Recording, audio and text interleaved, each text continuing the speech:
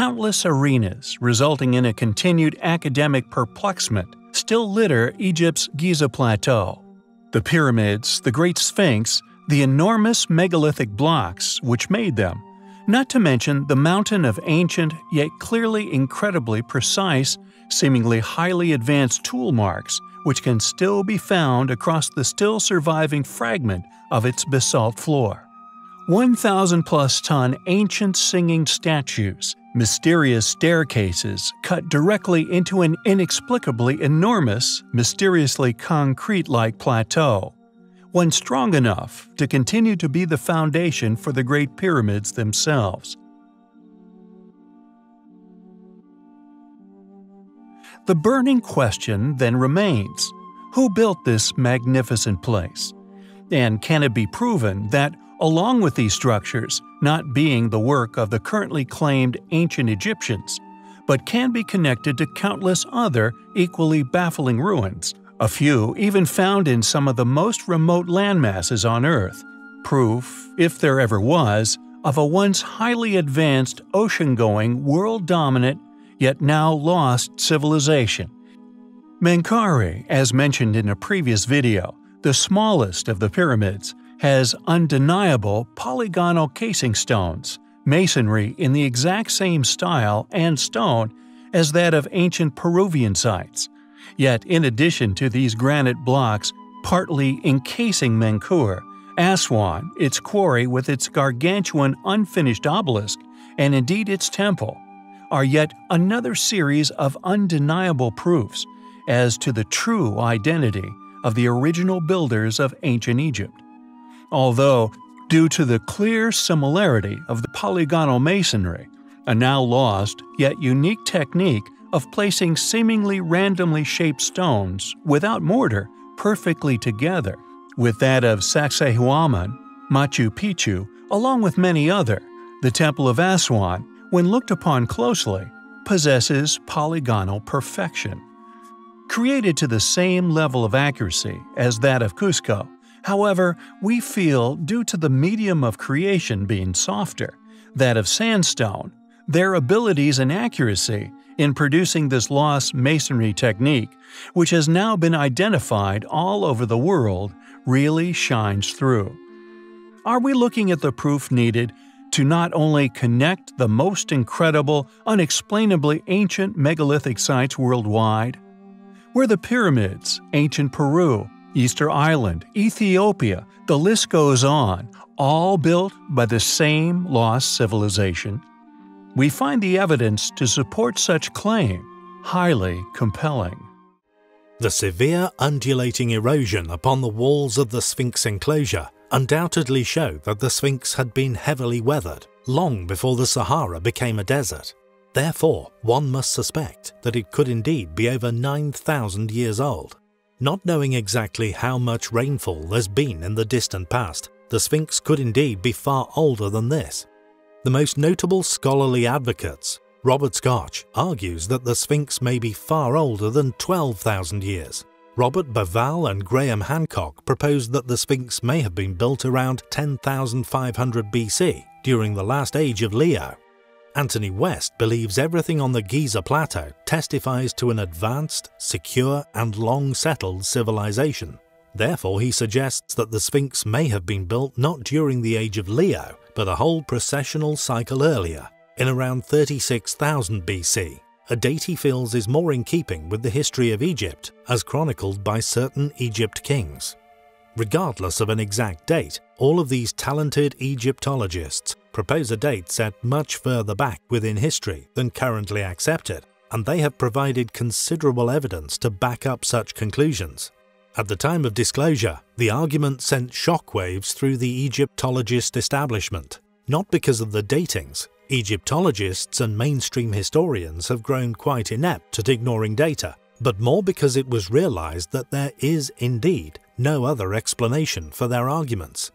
There is little doubt that the Sphinx enclosure was subject to severe erosion within its lifetime, and although it could have been explained away as a naturally formed enclosure, we fortunately know from analysis that the limestone blocks dug out from there were then used within the building of nearby Sphinx Temple. Interestingly, no other site in Egypt shows the same type or degree of erosion.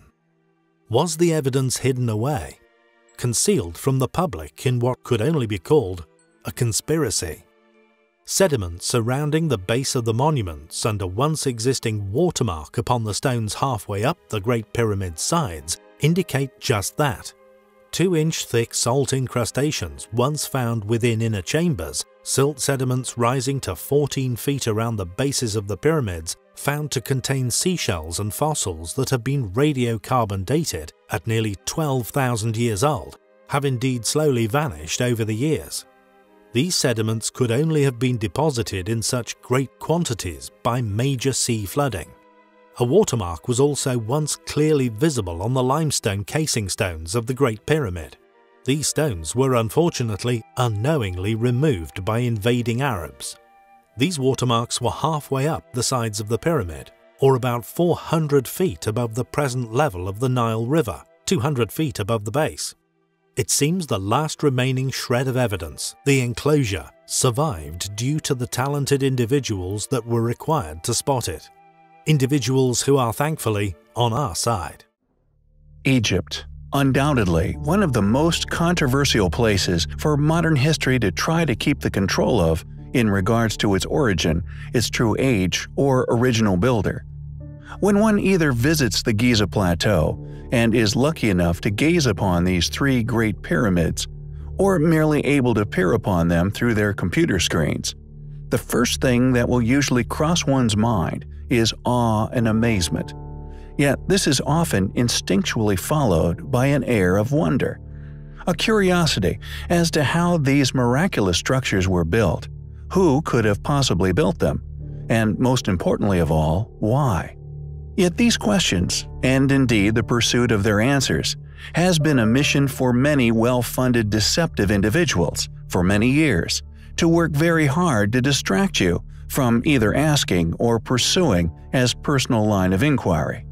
For example, the golden mask of King Tut, along with the many other undoubtedly spectacularly valuable artifacts encrusted with precious metals and jewels that can be seen littering Egypt in its many museums and in the mountains of literature, books, and touring exhibits, which are published, pushed, and permitted in regards to this spectacular area of human history. The arrival of the last of King Tut's chariots at the GEM, which stands for the Grand Egyptian Museum, late last month, was an exciting event for archaeologists worldwide and a source of pride for Egyptians. We moved today the sixth and the last chariot of King Tutankhamun from the, from the military museum in the citadel, which was there since 1987, to the GEM. So we were keen to show you the moving of this uh, very nice artifact and the packing and unpacking uh, method, professional method you are using by my colleagues in the ministry. The Tutankhamun exhibit, comprising about 5,000 pieces, will display for the first time all of Tutankhamun's artifacts in one place. Experts from around the world have been consulted on how best to preserve and display the collection. When museum workers accidentally knocked off the beard of King Tut's burial mask in 2015 and hastily glued it back on, there were fears that modern chemicals would cause permanent damage to the artifact. But scholars around the world put their heads together to save the golden mask. The museum will also be a venue for international conferences on Egyptology. There is something new always. We found out today in my talk the family of Tutankhamun through DNA, how Tutankhamun died. No one murdered him. My excavation in the Valley of the Monkeys that we are doing right now, important excavation looking for the tomb of Ankhis in Amun. Maybe soon a tomb will be revealed in the Valley of the Monkeys or the West Valley of the kings. Most of the artifacts in the Tutankhamun exhibit have been relocated from the Egyptian Museum in Cairo. Their new home is only about two kilometers away from the place where the young pharaoh's tomb was discovered in 1922. Egyptian officials say the GEM will be the world's largest archaeological museum when completed and will hold about 100,000 artifacts in total. We have now 3,000 employees and workmen working inside the project. We are respecting our schedule, will be ready from the engineering uh, part by December 2018 and we are deciding now the perfect time or the ideal timing for the partial opening. In addition to King Tut's exhibit, the museum will display objects related to some of the greatest historic Egyptian kings, such as Ramses II, Akhenaten, and Amenhotep III. The ancient Egyptians, although claimed as ingenious, were merely adaptive, just like the equally acclaimed Romans and Incas of Peru.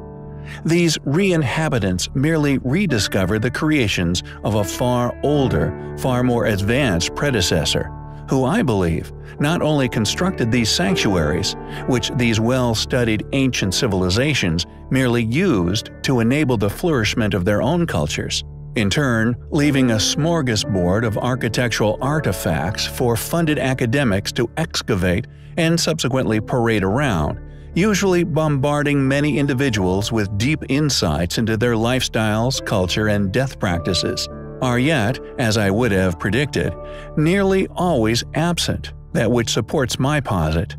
Any logical explanation or demonstration of how these people built these structures in which they once inhabited, like a void in their academic study, one which is not only consistently ignored and concealed by these same academics, but are unknown facts to all of modern humanity to this day.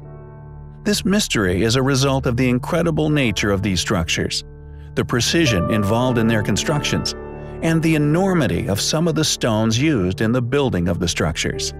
Many of you may have seen my recent videos or be a keen follower of my work, and as such, are aware of the fact that due to my in-depth study of the unknowns regarding these sites worldwide, and the collection and collaboration of the similarities and differentiabilities I have personally collected and categorized regarding many of these ancient structures, I have personally been able to establish a very strong, evidence-based hypothesis regarding the identity of three separate lost civilizations, which I have established using signatures within their style of building and by default differentiations in their styles of building, to unquestionably identify them as separate yet particular groups responsible for the different unexplainable structures spanning the entire globe.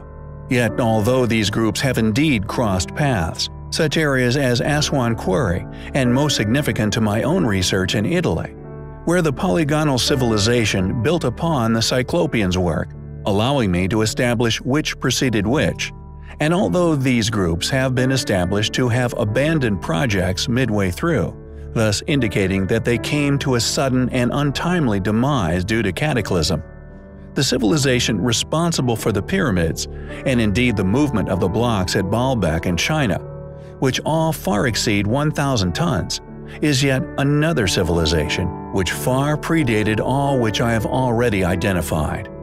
These three civilizations are the Polygonal Civilization, the Cyclopean Civilization, and the Neolithic Civilization. Each with their own unique building techniques and identifiable stone-cutting signatures in their technologies.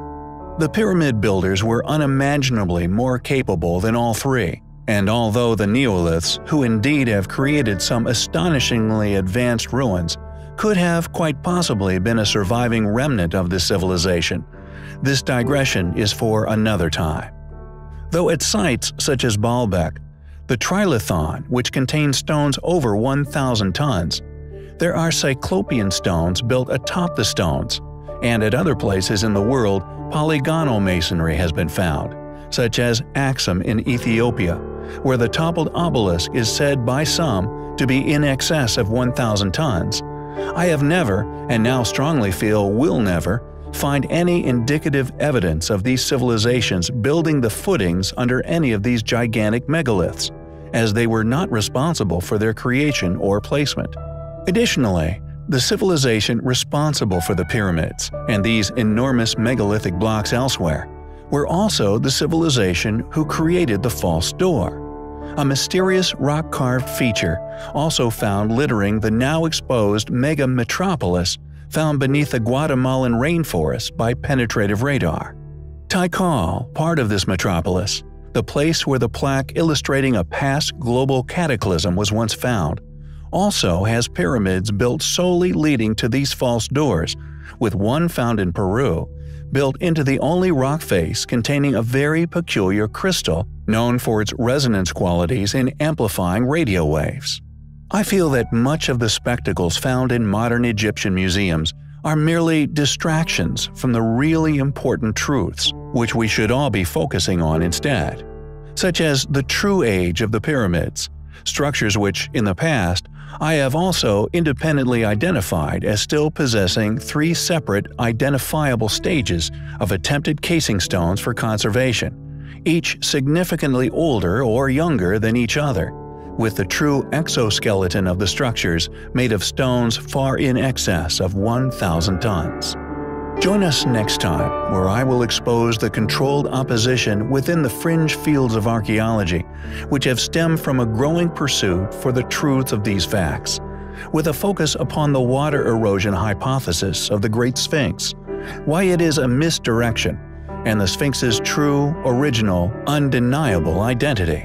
Facts and truths exposed, which are undoubtedly highly compelling.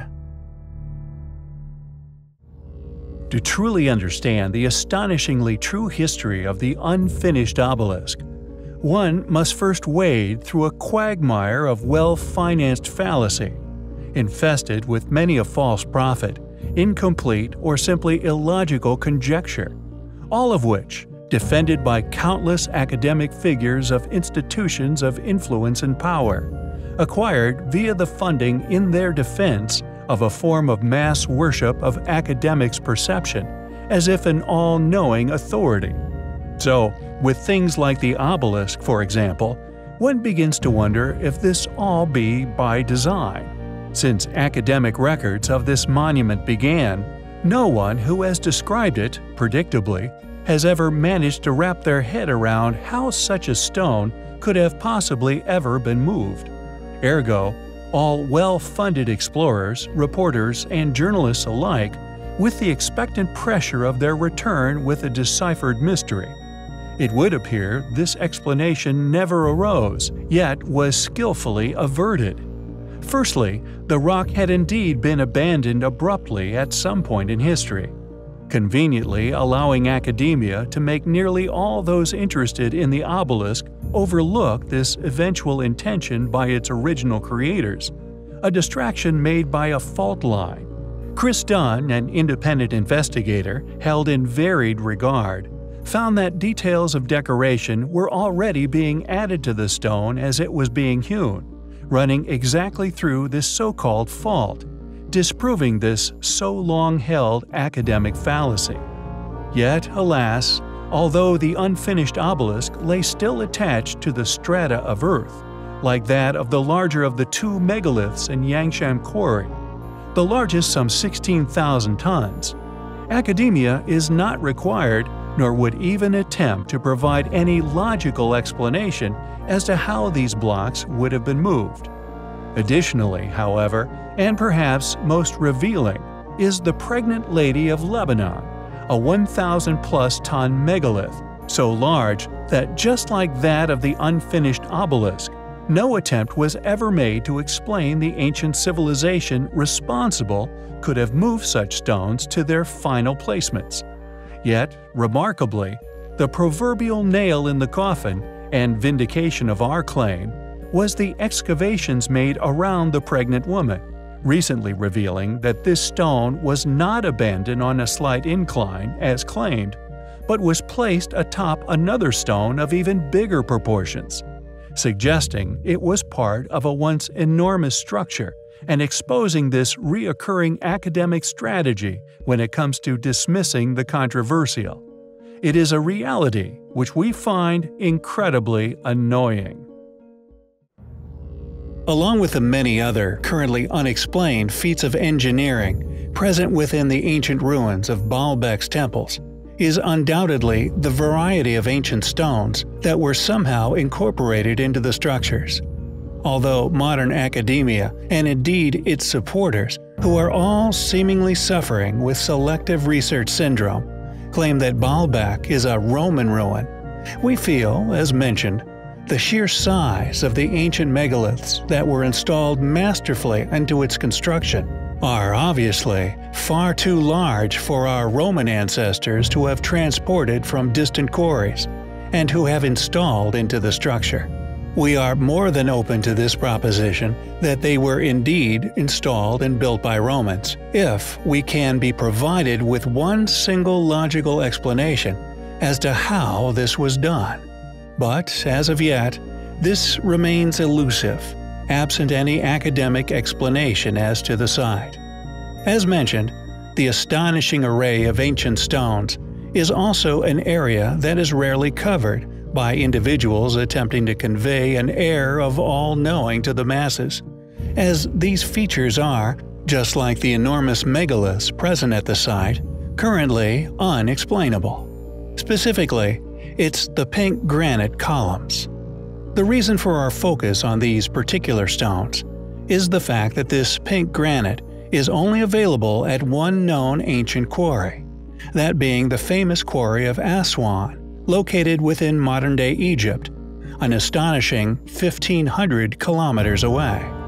Some of these stones weighing in at more than 10 metric tons, this achievement, we feel, is clear indication of the fact that the builders of these ancient sites were far more capable than that of our more recent Roman ancestors. For example, as previously covered on our channel, Henry Layard brought two lamassu weighing in at a similar size around 10 tons to London. This task took over 18 months of arduous suffering for hundreds of our modern ancestors, placed a mere century ago to complete.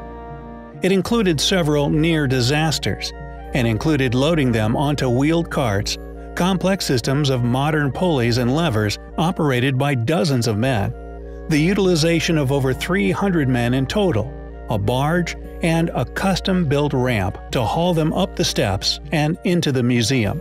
How these same curators, historians, and academics alike can continue to claim that our Roman ancestors completed such tasks, along with the placement of such enormous stone megaliths, is to us absurd. Was the unfinished obelisk found within Aswan the work of the same civilization? We feel that these pink granite columns could, in all possibility, be a link that connects these two ancient sites, and in particular, the Great Pyramids. Was Baalbek, with its enormous granite megaliths, built by the same people as the Great Pyramids? Is the giant megalithic exoskeleton of the Great Pyramids, which we have already exposed, built with the same techniques as Baalbek? We find the evidence to suggest such highly compelling.